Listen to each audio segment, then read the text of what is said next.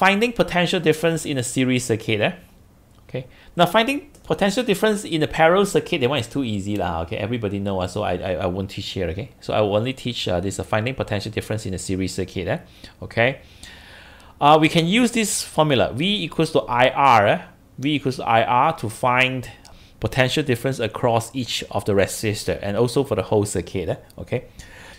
Uh, if you have the resistance R1 and R2, uh, so you need the current. You need to know the current uh, for you to find the potential difference. So the very first thing, uh, the very first things uh, uh, in finding potential difference in a series circuit is to find the current first.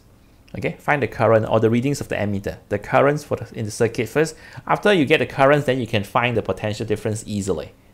So that is the key. Yeah, that's the key uh, to find potential difference in the series circuit. You must find the current first. Example 9. So 12 volt, 2 ohm, 4 ohm. Find the potential difference across each of the resistors. As I told you just now, you must find the current first. And to find the currents, we use the same formula. We use or we use the same equation. So V equals IR. V equals IR. Um, so we have uh, this uh, V equals to 12 volt.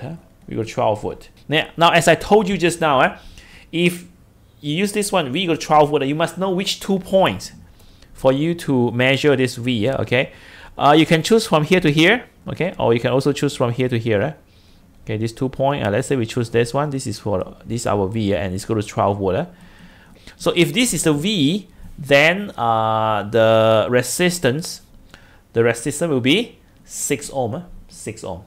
So therefore, the current is equals to 2 ampere. So we get a, you must find the current first, then only you can find the uh, potential difference across each resistor.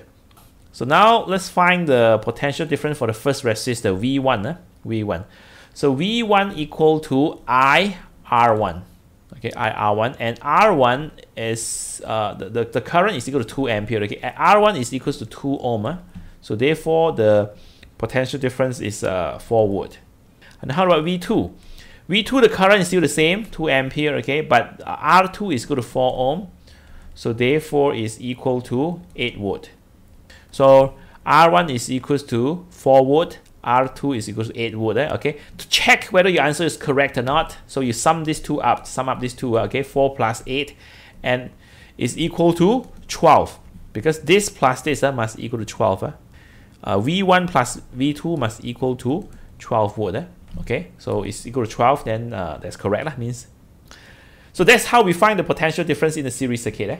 Okay, find the current first. That's the key to solve the problems. You must find the current first.